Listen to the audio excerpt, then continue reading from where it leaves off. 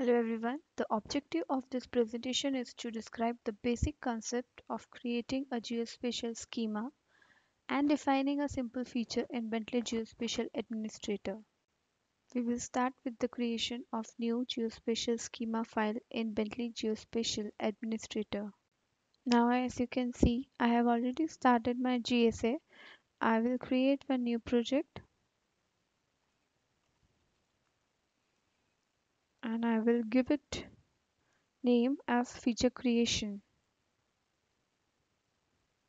See, now in left panel you can see under the heading geospatial project you can see all user, user workspace and graphical sources. When you will click on geospatial project on right hand side you will find all project specific information that is project name, description, workspace root directory and project directory.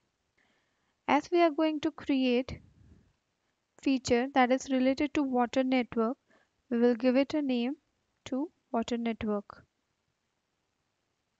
Now you need to check if the workspace root directory is correct or not. By default, it is set for Bentley Map Edition and installation from those program group you started Bentley Geospatial Administrator. Now you will need to set the project parent directory to project example and geospatial. After making all changes, you need to click apply and you need to save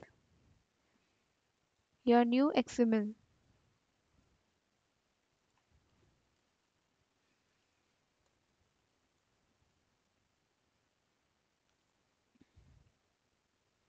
That's how you have created your new schema file.